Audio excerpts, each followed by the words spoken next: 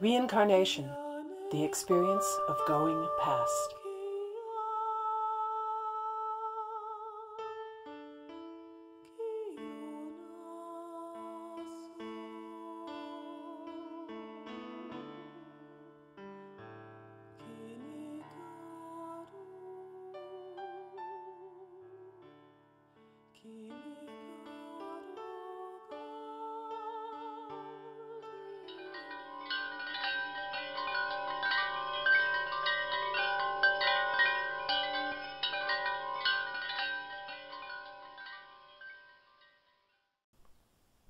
How long have you wondered if you have memories of past lives within you?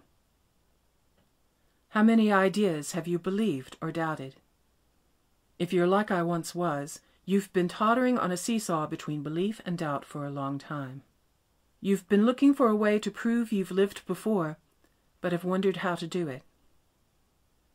This series is intended to help you discover just how much past life recall you might really have and how to decipher it. Why do I say decipher? Because past life recall rarely takes the form of memory. It's hidden inside of us in preferences, habits, and what an old acquaintance once called the things that resonate within us. Things that strike us and set us to ringing as if we are bells. But most of the time, you don't know why. I had past life recall from the time I was a toddler, but I was 50 years old before it all started making sense. I had no persona to hang the memories on, except for guesses I made along the way. And most of those guesses were wrong. In a couple of cases, I actually danced around the real life, afraid to go for the most obvious thing.